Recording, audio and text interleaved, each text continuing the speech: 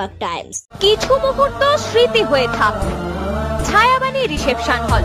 শীততাপ নিয়ন্ত্রিত। বিবাহ, অন্নপ্রাশন, উপনয়ন মিটিং ও কনফারেন্সের জন্য যোগাযোগ করুন। Chhayabani cinema building, Arambagh. Mobile number nine four three four nine seven six eight two seven অথবা nine zero eight three four five four nine three zero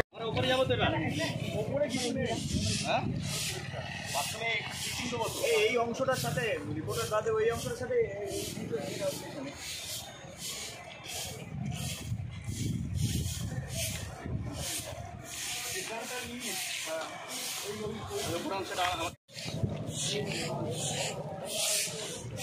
ঝাঁটা দেওয়া হাত দেখো ঝাঁটা দেওয়া হাত দেখেছ?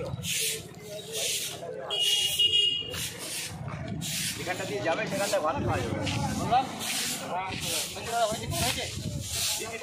দিদি একটু চেপে যান দাদা একটু পেছিয়ে যান দাদা একটু পেছিয়ে যান একটু জলটা দিন দিন জলটা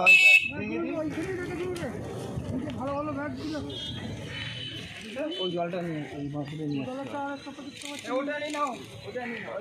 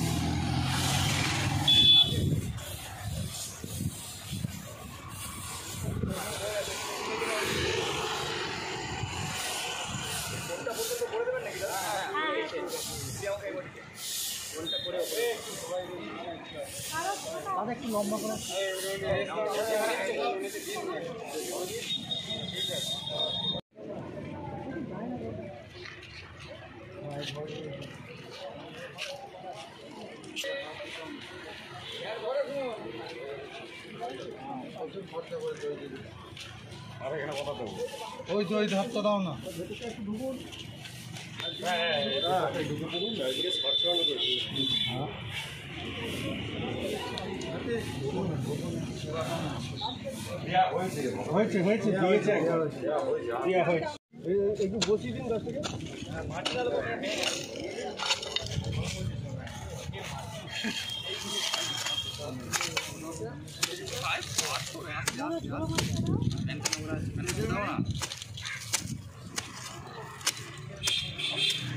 বসে যান বসে যান দিদি বসে যান।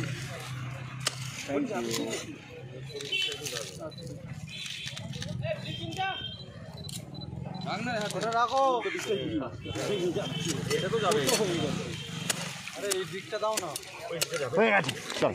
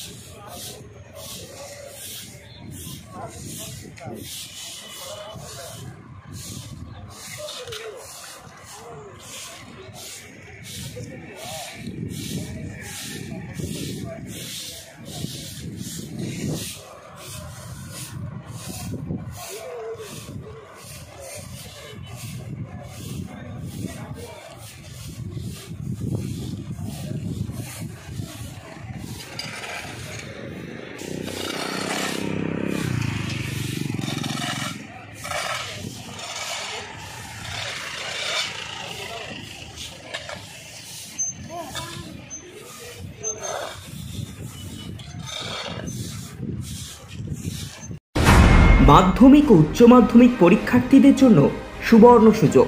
পঞ্চাশ শতাংশ ছাড়ে কম্পিউটার শেখার নির্ভরযোগ্য সরকারি প্রতিষ্ঠান। National youth computer centre. তাই দেরি না করে আজই চলে আসুন ন্যাশনাল ইউথ কম্পিউটার সেন্টারে। দাদা আজকের বিষয়টা যদি একটু বলেন। আজকে সারা ভারতবর্ষব্যাপী স্বচ্ছ ভারত অভিযানের আর প্রকল্প নেওয়া হয়েছে।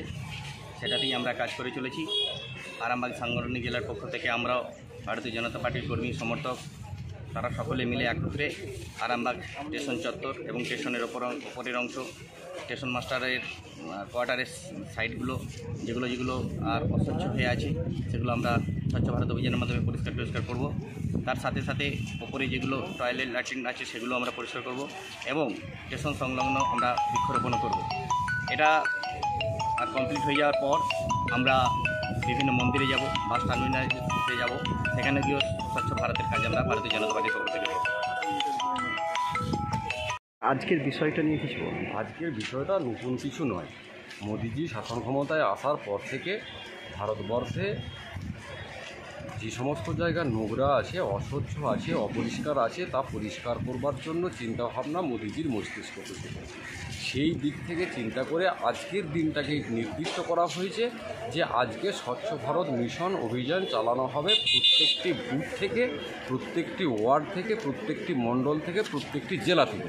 আজকে জেলা কমিটির পক্ষ থেকে, আরামবাগ সাংগঠনিক জেলার পক্ষ থেকে আমি আছি সাংগঠনিক জেলার সভাপতি আছেন, সাংগঠনিক জেলার কার্যকর্তারা রয়েছেন এবং এবং আমাদের ইনচার্জ ইনচার্জ আছেন আরামবাগ সাংগঠনিক জেলার এবং আরামবাগ সাংগঠনিক জেলার ইনচার্জ সহ আরামবাগ যে বিধানসভা, সে বিধানসভার ইনচার্জ রয়েছেন।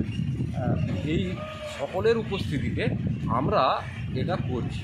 আজকে আমরা করছি, এটা আমাদের সারা বছরের কর্মসূচি।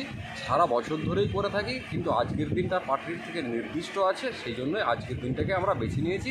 বেছে নিয়ে আরামবাগ স্টেশন চত্বর যেমন একদিকে আমরা স্বচ্ছতা অভিযান চালাচ্ছি, তেমন একটু পরে আমরা রেল স্টেশন থেকে বেরিয়ে গিয়ে আরামবাগ বাস স্ট্যান্ড এবং মন্দিরে আমাদের দৌলতপুরের যে মন্দির আছে, সেই সমস্ত জায়গাটাও পরিষ্কার পরিচ্ছন্ন করব।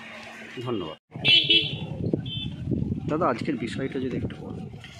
আজকে আমরা ভারতীয় জনতা পার্টি আরামবাগ সাংগঠনিক জেলার পক্ষ থেকে স্বচ্ছ ভারত অভিযানে নেমেছি। এটা আমাদের সারা ভারতবর্ষ জুড়ে এই অনুষ্ঠান চলছে, এই প্রোগ্রাম দেওয়া হয়েছে।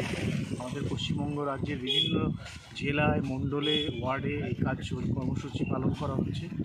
মানুষের কাছে একটা বার্তা দেওয়া, প্রধানমন্ত্রীর যে চিন্তাভাবনা ভারতকে স্বচ্ছ রাখা, বিভিন্ন জায়গা, হসপিটাল থেকে আরম্ভ করে, স্কুল থেকে আরম্ভ করে সব জায়গাকে স্বচ্ছ রাখা আমাদের দরকার, নিজেদের স্বাস্থ্যের কথা চিন্তা করে।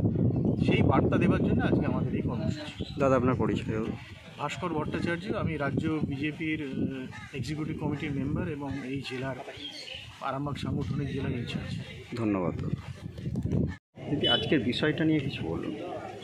আমাদের যে বিজেপির যে প্রতিষ্ঠাতা ডক্টর শ্যামাপ্রসাদ মুখার্জি তার যে জন্মদিন উপলক্ষে আমাদের সেবা সপ্তাহ পালন চলছে। আজকে আঠারোই এপ্রিল সেই সেবা সপ্তাহে আজকে স্বচ্ছ ভারত মিশন প্রকার আছে। এটা এই মিশনের হচ্ছে আমি প্রমুখ আছি আরামবাগ বিধানসভা। আজকে আমরা এই আরামবাগ রেল স্টেশন এবং আরামবাগ জেলা পার্টি অফিস এবং ওখানে যে শিব মন্দির আছে। এখানে আমরা এই কর্মসূচি পালন করি আপনার পরিচয় দিদি আমি আরামবাগ সংগঠন জেলার ভাইস প্রেসিডেন্ট